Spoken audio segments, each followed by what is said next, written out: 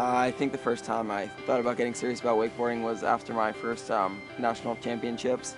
I think that's really when I started to realize that I could make something out of this.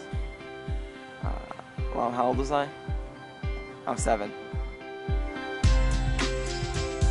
Met the kid when he was five years old. And he shows up and he's this little flat top wearing redheaded little kid. He had that little like, you know, like Tarzan looking kid.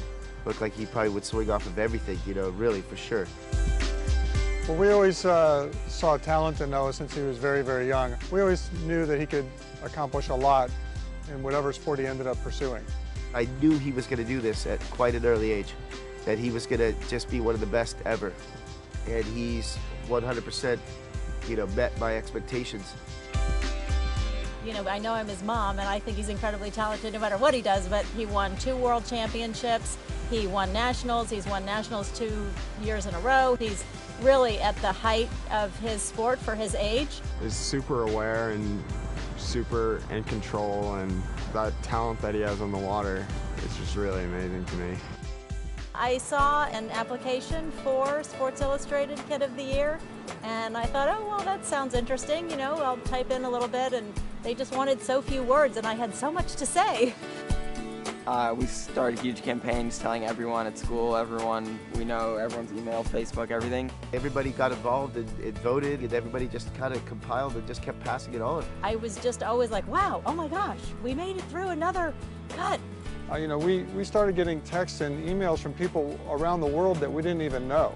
So nerve-wracking, like every day, just like wondering like what's gonna happen, and to find out was just so like exhilarating. It was such a great feeling.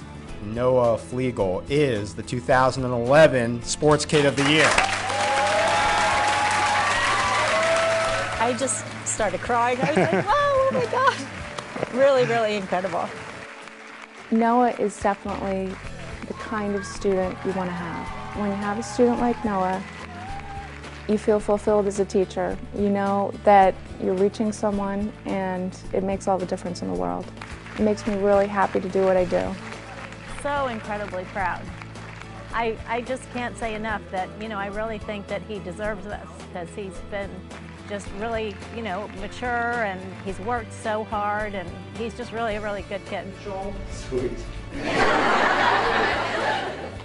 well, you know, we're very proud of him for all of his accomplishments and really these types of accolades are the, you know, the, the cherry on the ice cream. But, you know, when we see him being humble and when we see him handling things in a mature way and um, being a good sport towards his fellow athletes, you know, those are the things that are really the most important to us.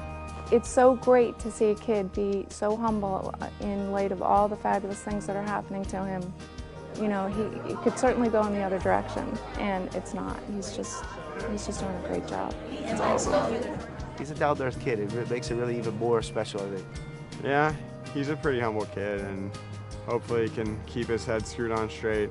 Because ultimately, uh, you know, he's not going to be a pro athlete his entire life, you know, and so we, it's just important to us that he's a good person and that has to come first and to see how he's handling things just solidifies in our mind that, you know, he's doing a great job there and that's the most important thing to us. I don't know, it feels great, like just to know like I was chosen of like thousands of kids to be like the top uh, sports kid of the year. Just a great feeling.